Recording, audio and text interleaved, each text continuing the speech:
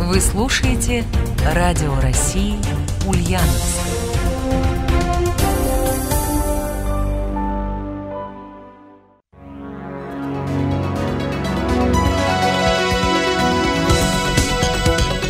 Государственная телерадиокомпания «Волга» представляет Программа «Будни». Факты, события, комментарии.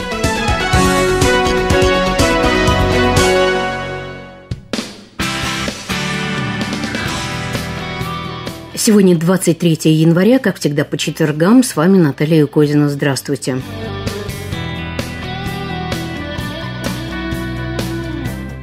Есть в календаре две даты, когда мы обязательно встречаемся с Валерием Перфиловым, кандидатом исторических наук, старшим научным сотрудником Ленинского мемориала. Эти даты связаны с именем Владимира Ленина. 21 января – День памяти, и 22 апреля – День его рождения. Кстати, я заглянула в перекидной календарь и удивилась, что день смерти Ленина 21 января никак не отмечен. Надо же! А ведь вспомните, было время, когда день смерти Ленина мы настолько близко принимали к сердцу, что считали его практически своей личной трагедией. Тогда нам искренне было жаль, что этот гений не осуществил всех планов по развитию социалистического государства. Нам казалось, что если бы Ленин был жив, то, возможно, мы бы жили совсем по-другому, конечно же, лучше. Как бы то ни было, мы, ульяновцы, обречены жить с именем Ленина долго. Хорошо это или плохо, каждый решает сам. Тем временем Ленинский мемориал остается и архитектурным, и музейным, и научным центром Ульяновска, представляя большой интерес для гостей нашего города. На днях, как раз в День памяти Владимира Ленина, в мемориале открылась вторая часть выставки «Ленин от первого лица», о чем нам подробно рассказал Валерий Перфилов. День памяти Владимира Ильича Ленина, 21 января, это особый день для нашего музея, Ленинского мемориала. В этот день мы проводим самые разные мероприятия. В День памяти Ленина мы открыли вторую часть нашего большого проекта. Это «Ленин от первого лица». Сложность внутренней жизни так называется. Первая часть называлась «Личная», а вот эта часть, как раз она очень важная. Мы хотели показать Владимира Ильича как сложного человека, не только революционера, но и ученого, экономиста, философа. Дело в том, что зачастую это было характерно и для советского периода, особенно, конечно, в постсоветский период, когда Ленина просто упрощали, делали таким неким плоским. На самом деле он, конечно, фигура была очень сложная, неоднозначная. И поэтому вот эта выставка на наш взгляд, является очень важной еще и с той точки зрения. Мы сейчас думаем о создании новой музейной экспозиции, поэтому мы сейчас отрабатываем некоторые направления, которые, как нам представляются, очень важными. Действительно, много самых разных исследований, книг посвящены Владимиру Ильичу. И там, где он предстает, как говорят, идеалом, и там, где он предстает в негативном свете. Так вот, мы решили пойти по такому пути, представить Владимира Ильича, как он сам оценивал свои поступки, дать ему непосредственно слово. Это очень важно. К сожалению, Владимир Ильич он не написал каких-то мемуаров, воспоминаний и так далее. Поэтому приходится буквально по крохам находить вот для того, чтобы его охарактеризовать с разных сторон. Но это очень важно, потому что тем самым мы как бы понимаем логику его поступков, почему он так поступал. Это дает возможность понять то время, войти как раз в ту историческую эпоху, когда принимались те или иные решения. И, конечно, это лекции, лектории, экскурсии, мероприятия, что касается 150-летия со дня рождения Ленина, что-то уже вырисовывается такое ясное, четкое и конкретное. О чем вы можете нам сейчас сказать уже? 150-летие – это действительно один из самых таких крупных рубежей. Если нам вспоминать, то это было столетие, 125-летие, вот сейчас 150-летие Владимира Ильича Ленина. Конечно, в рамках этого планируется много самых разных мероприятий, но, несомненно, самым крупным станет это Международный форум историков-публицистов. Называется «Трансформация исторической памяти в пространстве регионов в 20-м, начале 21 веков». Это вот посвящено 150-летию, и в рамках этого международного форума мы планируем провести музейную конференцию. Себе не принадлежит приватной и публичной в жизни политического деятеля, проблема музификации. Потому что перед нами стоит такая серьезная задача создать новую экспозицию, которая будет представлена общественности. Для этого нам нужно услышать и своих коллег, и экспертов, специалистов по этой проблематике. Поэтому мы придаем большое значение вот этой непосредственно конференции. Но кроме этого планируется еще и много самых разных. Это и новая выставка в рамках вот как раз Ленина от первого лица, практик революции. Это и э, новые лектории, которые будут у нас. Это и издательская работа. Планируется издание целого ряда книг, посвященных и фондовым коллекциям нашего мемориала, и жизнедеятельности Ленина. Это тоже планируется в рамках подготовки к 150-летию Ленина. Мы стремимся активнее использовать и интернет. В частности, у нас начал свою работу сайт Ленин, о котором спорят, потому что Ленин и сегодня продолжает быть той фигурой, вокруг которого кипят страсти. И я думаю, что вот к 150-летию эти страсти будут еще более сильные, чем даже сейчас. Мы готовим такие выставки не только в нашем регионе в нашей стране, но и готовим выставки для зарубежья. В частности, наши выставки на тему «Ленин и время» ждут во Вьетнаме, в музее Хашимина. Там очень высоко оценивают роль личности Ленина вот в становлении вьетнамского государства. Такая же история и с Китайской Народной Республикой на родине Мао Цзэдуна в Шаошане ждут также нашу выставку, посвященную Владимиру Ильичу Ленину. Итак, вот выставка, которая у вас открылась в мемориале. Вы так интересно сказали, как он сам оценивал себя. Дать ему слово. Что это значит?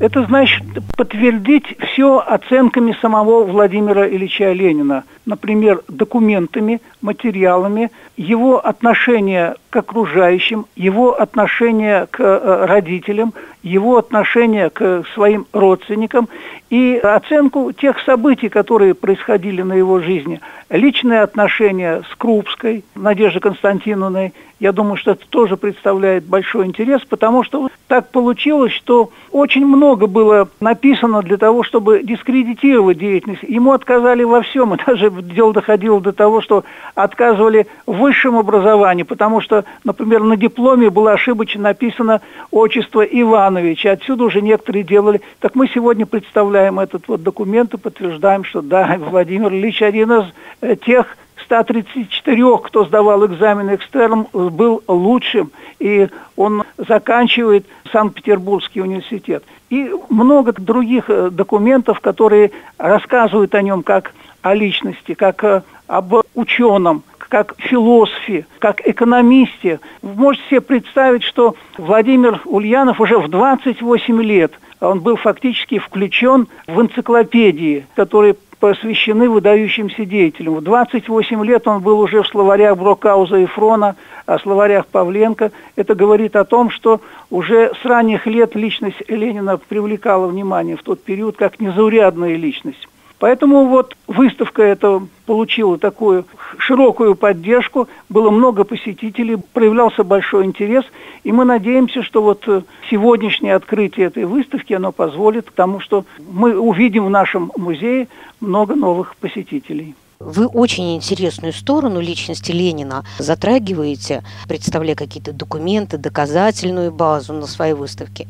Логика поступков Ленина – вот вы там доказываете, почему он так поступал. А можете уточнить, о чем идет речь? Одна из таких серьезных проблем, что у Ленина это 10 миллионов слов в его собрании сочинений. И беда всегда всякой лениняна заключалась в том, что выхватывали из его контекста, а выхватить можно все, что угодно. Ну, например, отношение к интеллигенции условно говоря. Прозвучала такая фраза, якобы Ленин сказал, что надо интеллигенцию выжигать каленым железом. На самом деле Ленин сказал, что интеллигенция сыграла колоссальную роль. Интеллигенции это всегда была гордость нашей страны. А в конце он сказал, вместе с тем есть такие интеллигенты, которых нужно выжигать.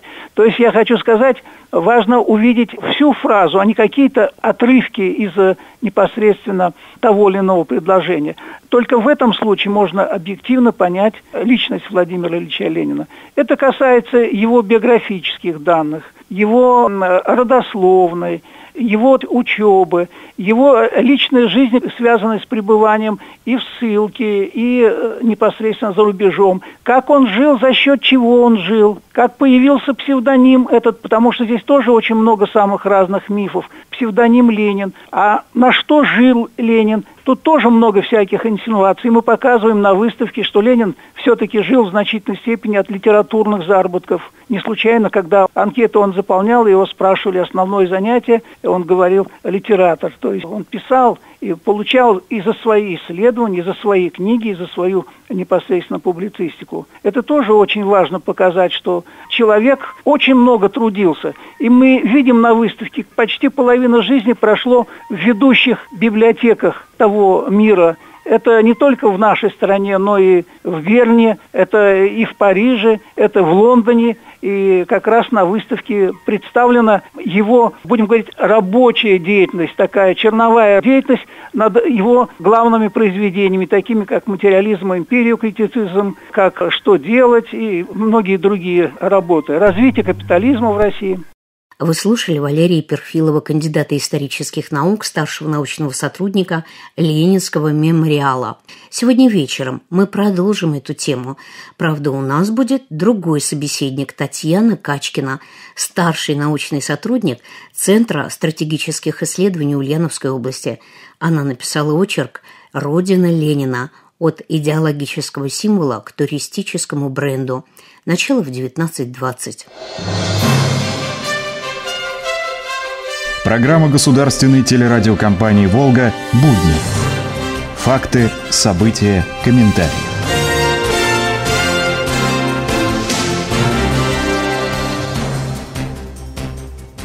Все семьи с детьми, конечно же, с интересом слушали послание президента России Совету Федерации, особенно в той части, где речь шла о материальной поддержке семей с детьми. Хорошее дело. Так как в этом году изменятся выплаты на детей?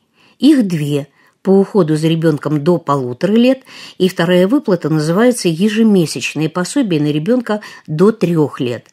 Издевательских пособий по уходу за маленьким ребенком в 50 рублей больше не будет. Зато больше семей смогут претендовать на получение более существенных выплат, но только при наличии статуса малоимущих. С начала года Оформить себе такой статус смогут те семьи, в которых средний душевой доход не превышает двух прожиточных минимумов. Так каков размер пособия по уходу за первым, вторым и последующих детей будет в этом году? Слушаем Светлану Барабанову, начальника отдела Министерства семейно-демографической политики. Работающая мама получает 40% заработной платы, не работающая мама – получает на первого ребенка 3277 рублей, на второго ребенка 6554 рубля. Это по уходу. Независимо от доходов. Работающий по месту работы, не работающий в органах соцзащиты. Затем с полутора до трех лет уже пособие на ребенка. Что здесь изменилось 1 января? Одновременно с выплатой пособия по уходу за ребенком мама имеет право на пособие по другому нормативному акту. Называется это пособие ежемесячная выплата на ребенка. То есть она может получать и по уходу за ребенком, это выплата от 0 до полутора. Еще есть выплата от 0 до трех этим же самым мамам. Только эта выплата предоставляется тем, у кого средний душевой доход ниже в этом году 22 220 рублей. На первого ребенка через органы соцзащиты выплата предоставляется, на второго ребенка через пенсионный фонд. Размер выплаты прожиточный минимум на ребенка 10 482. И на первого, и на второго ребенка сумма одинаковая. Одинаковая, да. А вот что касается то, что деньги берутся из материального капитала, мамы не обижаются на это? Наверное, обижаются, но ведь эта выплата на заявительной основе предоставляется Кто считает нужным обратиться и получить, тот ее получает. Тем более материнский капитал, там направление расходования всего три. То есть не каждая женщина имеет ипотечный кредит, чтобы направить эти деньги на улучшение жилищных условий. Не у всех дети платно учатся. Не все еще, наверное, подумали о будущей пенсии. Поэтому, может быть, им нужнее получить здесь и сейчас эти деньги. То есть это каждый уже для себя решает. То есть получается, что вот к трем основаниям, э, когда можно материнский капитал получить, это ипотека, платное образование детей, пенсии мамы, добавляется четвертое еще, правильно? Да. Это называется... Ежемесячная выплата на ребенка. То есть вот эта норма введена с 1 января? 2018 года. Только для тех, у кого дети родились после 1 января 2018 года. А много документов нужно собрать, э, чтобы оформить это пособие? Нет, документов немного. Это паспорта родителей, свидетельство о рождении и доходы от обоих родителей за 12 месяцев, не считая месяц обращения. И пособие назначается на один год, то есть до достижения ребенком возраста одного года. Затем семья обращается второй раз, назначает до достижения ребенка возраста двух лет – два года ребенку исполняется, обращаются третий раз и назначается уже до трех лет. То есть все-таки поток пошел, да, Конечно. мам? Мы, хотя мы работали и в новогодние праздники, но все отдыхали, поэтому сейчас после праздников поток очень большой, да. Светлана Барабанова, начальник отдела методологии и организации соцподдержки населения, рассказала о том, как изменился размер выплаты на детей в этом году. Размер пособия по уходу за первым ребенком должен быть равен детскому прожиточному минимуму. Это около 11 тысяч рублей. На второго и последующих детей начисления будут идти ежемесячно, но не из государственных денег, а из материнского капитала.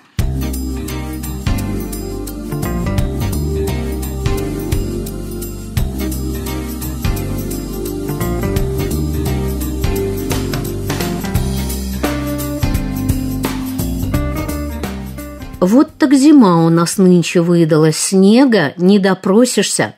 Правда, последние дни погода нас побаловала, снега насыпала. Сейчас поговорим о птичках-синичках. Синицы зимой всегда рядом с человеком, радует нас своим красивым оперением и задором. Сходить в лесопарковую зону, покормить синиц, понаблюдать за ними – это ли не удовольствие? У орнитолога Андрея Москвичева мы решили узнать, а как птицам такая не зимняя зима? Температура воздуха, да и скудный снег, как весной. Радует ли их такая погода? Ну, конечно, радует. Чем теплее погода, тем для птиц лучше. Корма проще искать, э, снега мало, а можно что-то найти, например, в лесной подстилке, в коре деревьев. Ведь чем холоднее погода, тем сложнее искать корма. Соответственно, большой снежный покров – доступ к кормам затрудняет, и поэтому в это время как раз именно зимой птицы как можно ближе к человеку стараются прилететь. И, например, в зимнее время в лесу птиц достаточно мало. Большая часть их приходит в города. А сколько всего видов синиц обитает в наших местах на территории Ульяновской области? Самая распространенная, которая у нас в Ульяновской области синица, это большая синица. Есть еще синица московка, Два вида у нас лазоревок, обыкновенная и белая. Два вида гаечек, э, это бурголовая и черноголовая. Есть еще хохлатая синица. Ну, если абстрагироваться так от э, настоящих синиц, вот, которые я перечислил, то у нас есть еще три вида, которые к синицам относятся примерно, скажем так. Это похожее семейство, но немножко другие. Это у нас есть усатая синица, синица ремес, перелетный вид, она зимой не встречается. И есть еще длиннохвостая синица. Вот, например, если в городе Ульяновске, то у нас самый распространенный это большая синица, потом обыкновенная лазоревка и бурголовая гаечка, и московка. Вот это самые такие вот виды, которые можно увидеть в парках. А чем они отличаются? Размером, а цветом оперения? Желтый цвет так присущий для синичек, у всех видов синиц присутствует? Нет, не обязательно. Желтый цвет – это вот отличительный признак большой синицы. А обыкновенная лазоревка тоже желтого цвета. А вот, например, московка и бурговая гаечка, они серенькие.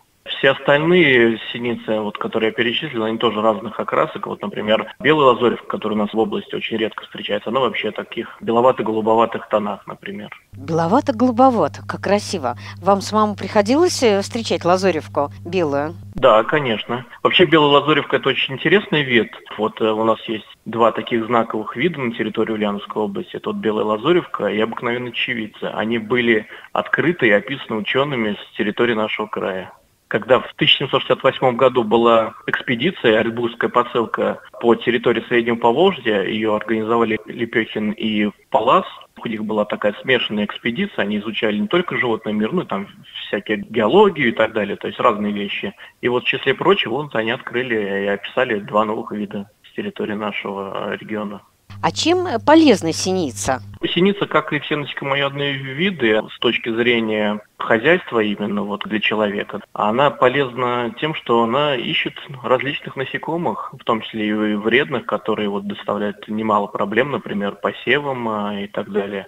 А, например, в плодовом саду синицы очень удачно справляются, например, с нашествиями различных плодожорок, которые портят э, яблоки, там, груши, другие виды вредных насекомых, которые повреждают посевы или ягоды какие-нибудь. И поэтому считается, что для того, чтобы, например, в плодовом саду на следующий год посетились насекомоядные птицы, в том числе и синицы, это в первую очередь, потому что их проще всего привлечь в плодовый сад, то нужно в этом месте организовать зимнюю подкормку. То есть мы подкормили синиц, они посчитали, что это место прям вообще удачное, там тут много корма, и они, часть птиц остаются в этом месте на гнездование. Мы как-то привыкли, что синички у нас появляются только зимой. А куда летом деваются синицы? Зимой в холода, когда нет кормов, они появляются в большом количестве в городах, а летом они уходят в леса, где размножаются. Леса, там различные поймы рек, а кто как мне пришлось прочитать,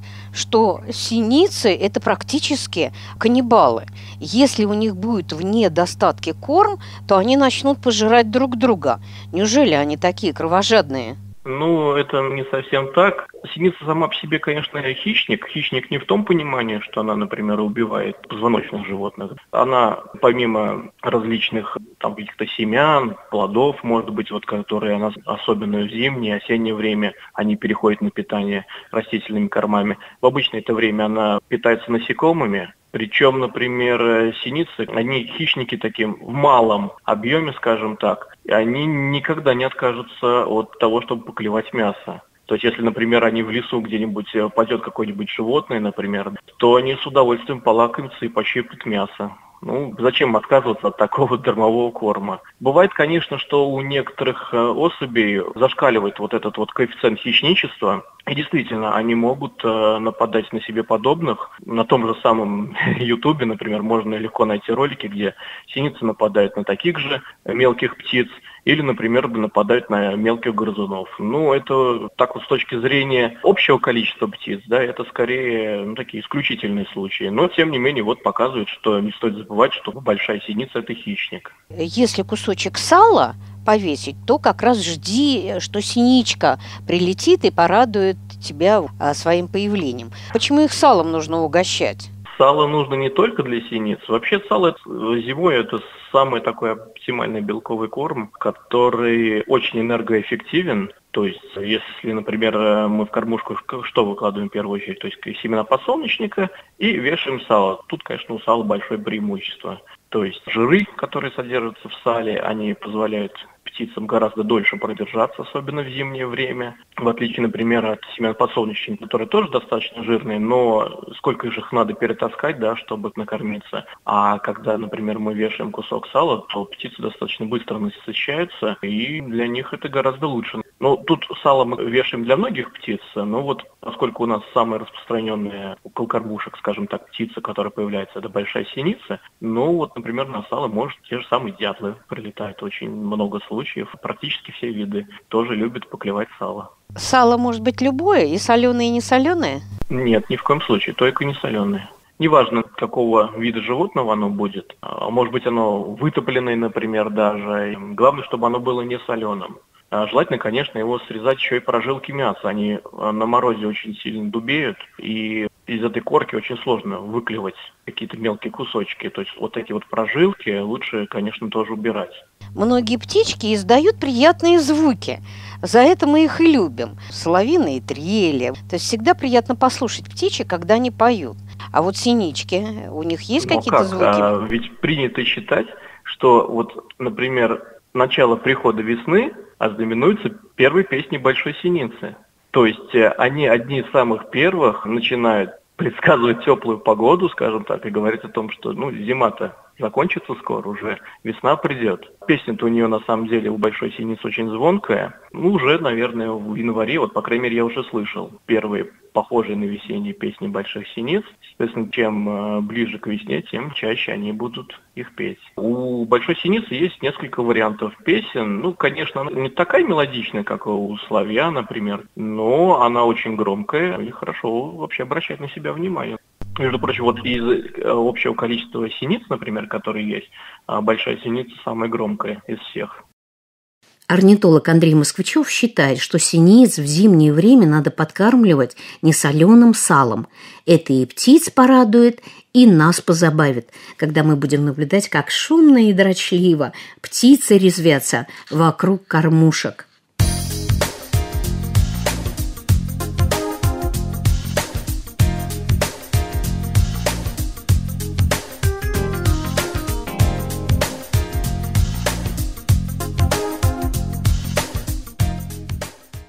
Дарья Рыкова, филолог, журналист и блогер, сегодня решительно намерена избавить нас от канцеляризмов речи.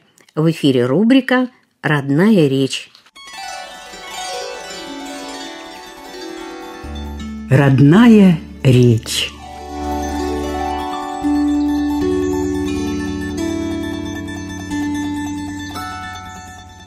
Переводчик Нора Галь называла их опухолью, которая разрастается до невиданных размеров. А писатель Корней Чуковский вовсе поставил диагноз – затяжной, изнурительный и трудноизлечимый канцелярит. Сегодня поговорим о канцеляризмах, которые уродуют нашу жизнь. Приведу сразу пример. Часто можно услышать или увидеть в письменной речи такую фразу «Учителя ведут активную борьбу за повышение успеваемости». Сейчас мало кто просто так повышает успеваемость, все ведут активную борьбу или участвуют в активной борьбе за повышение чего-то. Есть убеждение, что чем сложнее написал фразу, тем внушительнее будет ее смысл. В итоге мы получаем пустое предложение, смысл которого теряется. А стоит вместо цепочки существительных добавить глагол. Не ведут активную борьбу за повышение успеваемости, а учителя стараются повысить успеваемость или просто повышают успеваемость. И тогда фраза выйдет живее, а главное понятнее. Следующий пример. Ребенок почувствовал страх. Есть еще ряд аналогичных примеров. Испытывал раздражение, ощущает чувство счастья и так далее. На первый взгляд в них нет ничего плохого. Но перед нами еще один симптом канцелярской болезни. Называется он расщепление сказуемого, когда вместо одного глагола употребляют сочетание существительного с глаголом, обозначающее действие. Так вместо испытывал раздражение можно просто сказать был раздражен. Ощущает чувство счастья, был счастлив и так далее. И вот в э, примере про ребенка, ребенок почувствовал страх, ребенок испугался, ему стало страшно и так далее. Можно сделать это все проще. Следующий пример. Большое количество домашней работы. Существительное тоже умеет расщепляться, как в этом случае, большое количество конкретно. Здесь нет глагола, но есть несколько существительных и прилагательных. В этом случае просто написать, что домашней работы много, а не большое количество. Нужно не усложнять, а упрощать свою речь, даже письменную. Следующий пример. В процессе просмотра сериала я отдыхаю. Процесс просмотра сериала – это увлекательное занятие, но убивает жизнь в предложении. Глаголы – это всегда хорошая идея, так что не жалейте запятых, дробите предложение на две части и пишите «Когда я смотрю сериал, я отдыхаю» или как-то по-другому, но не в процессе просмотра чего-то. Есть еще такие фразы, которые, в принципе, не так нужны в речи, их можно убрать, и смысл не изменится. Это тоже приметы канцелярского стиля. Например, фраза «стоит отметить» или «необходимо помнить». Лучше обойтись без этих фраз. Их миссия в том, чтобы они привлекали внимание. Но если что-то серьезное вы пишете в тексте, то это все равно привлечет внимание даже без этих фраз. Еще один пример. В целях повышения качества нашего сервиса. Такие фразы мы слышим постоянно в каких-то компаниях по оказанию услуг, по телефону, да, также можно услышать такое. В целях повышения качества обслуживания ваш разговор может быть записан. Это классические такие фразы сферы услуг, и их тоже можно заменить, и даже понятная фраза привлечет больше внимания, чем вот эта канцелярская фраза, на которую мы не обращаем внимания. Чтобы наш сервис работал эффективнее, можно сказать так, и люди сразу обратят на это внимание, а главное поймут. Да, канцеляризм бывает уместно в официальной деловой письменной речи, но не стоит перебарщивать с ними в обычной жизни. Пишите проще, говорите проще, и вас всегда будут понимать. Говорите и пишите грамотно, легко и красиво, так считает Дарья Рыкова, филолог, журналист и блогер. И мы с ней согласны.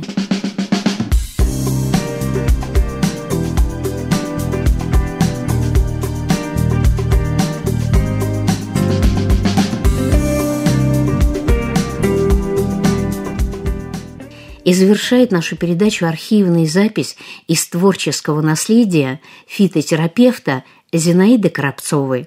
Слушайте любимую рубрику «Аленький цветочек».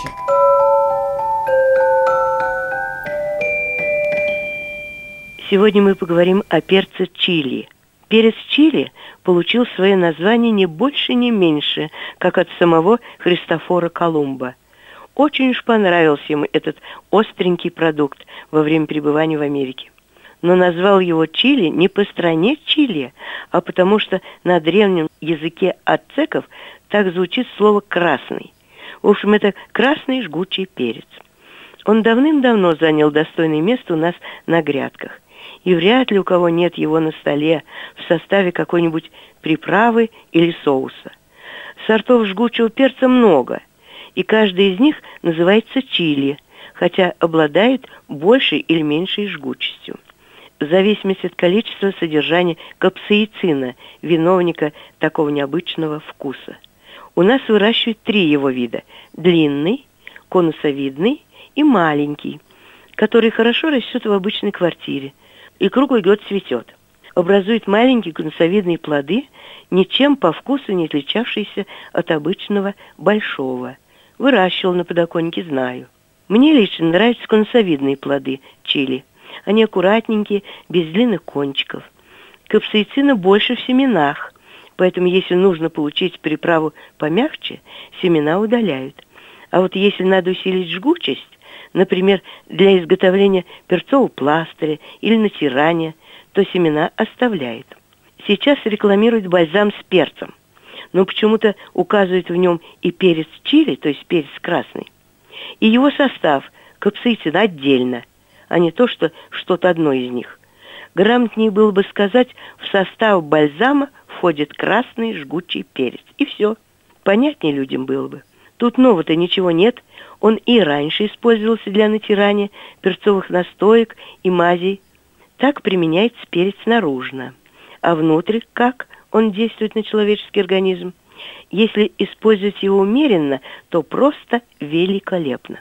Он повышает иммунитет, действует тонизирующе на сосуды, в том числе и головного мозга, является мощным антиоксидантом. И еще его свойство, он заставляет мозг вырабатывать эндорфин, гормон счастья. Недаром красный перец или чили входит в состав древней системы оздоровления аюрведы, который применяется для омоложения. Только использование его строго индивидуальное, кому какая доза нравится, и нет ли болезни желудка. Вот и все о перце красном или перце чили.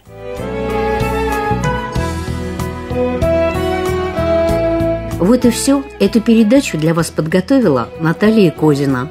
Спасибо, что были с нами. До свидания.